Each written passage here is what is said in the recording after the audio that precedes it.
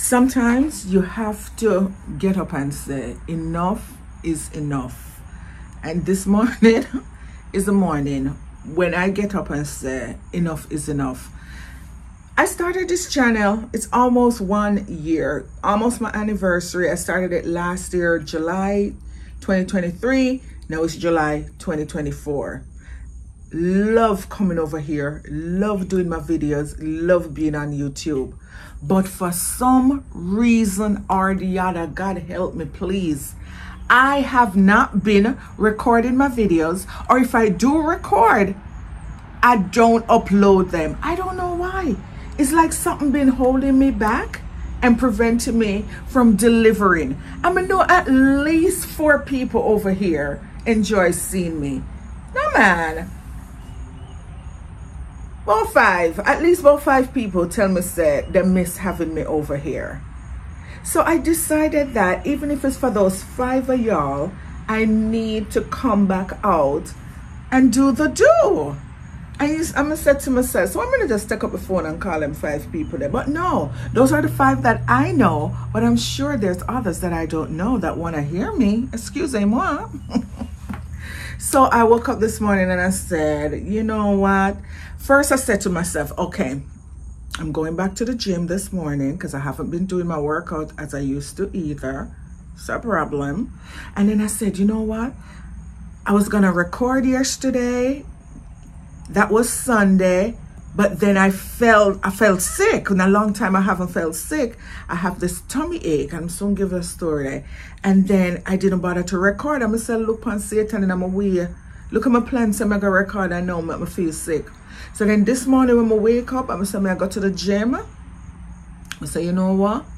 Probably I should just go on YouTube live, which I've never done, and just do a live video since I have so much time recording and uploading and doing all these things. But then when I wake up this morning and I do my devotion and I read, you know what it's telling me? Because my sure say every morning when we do my devotion, the Lord talk to me directly. Other people reading the same book. I, I use the Daily Bread for my devotion. And I'm sure other people reading the Daily Bread. But me always feels there is me. It's a, it's for me it talking to. All the scriptures that I read, it's it was for me. I'm gonna say, look here, look how them pick out the right something for me today. This was what I need to hear. So this um this morning's reading for July 1st in your daily bread if you have it.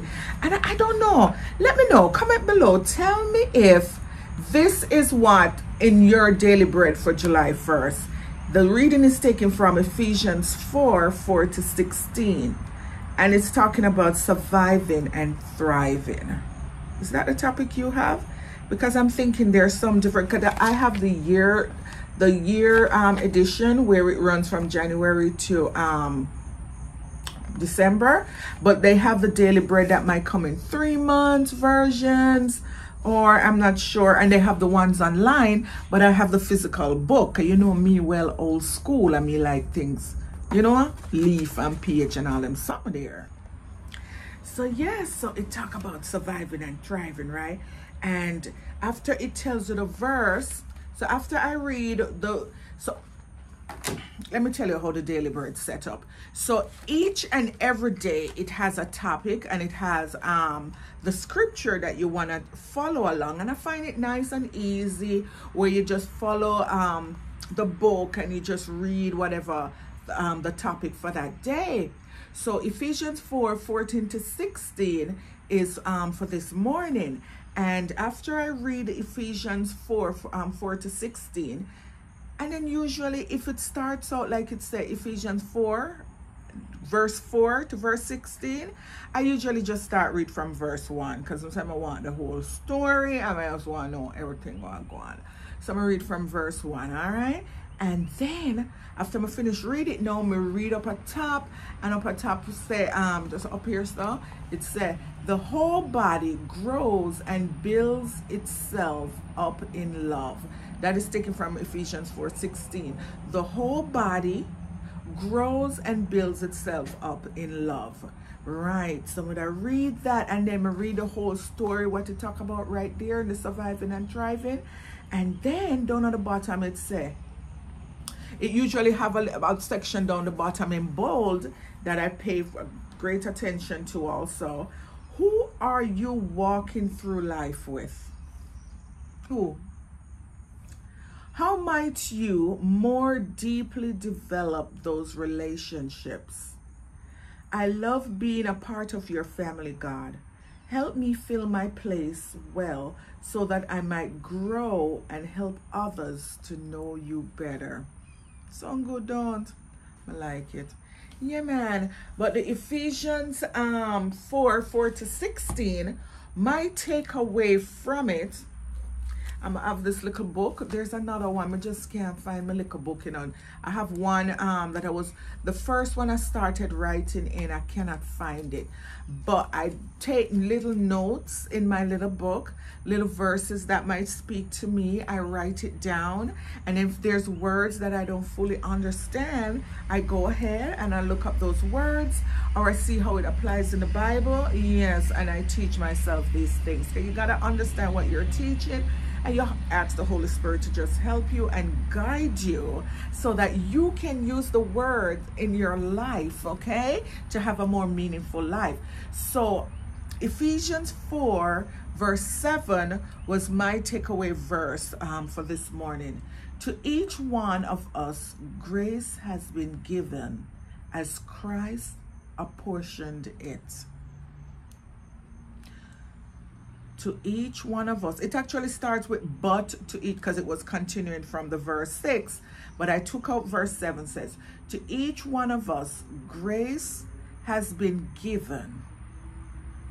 To each one of us. Me, you, she, them. All of us, grace has been given as Christ apportioned it. So it means that Christ share up grace and give it all to us, okay? Based on how he gives each of us different levels of grace I'm getting from that as Christ apportioned it, as he divided up, each of us get the amount of grace. Because grace is not something where you can work for or you can say, yeah, man, I'm to put in some hours today so we can get some grace. Christ gives us grace, right? Grace let, let's break down the word grace now. Grace as in g-r-a-c-e it's undeserved favor. So it's favor. God has given us this favor right? It's nothing that we work for nothing that we say yeah man we get whole of points and so we should get more grace. It's undeserved because you know we all have sinned and come short of the glory. So we don't deserve nothing. Well, we terrible and stay bad. But we have to come before God each day and ask for forgiveness. And yeah, so it's his undeserved favor and unmerited gift of compassion, right? So we give to and we receive grace. So God give us grace, but we are also giving each other grace and give ourselves grace. Yeah. So we have to practice giving grace to ourselves and giving grace to others. Yeah, man. Hi guys, a quick interruption of the video. I'm gonna pause it right here because it takes a very long time to upload if the video is too long. So there's gonna be a continuation where you're gonna hear more about extending grace and you're gonna hear more about what caused me to feel sick, okay, yesterday. So tune in to the continuation of this video. Thank you for watching.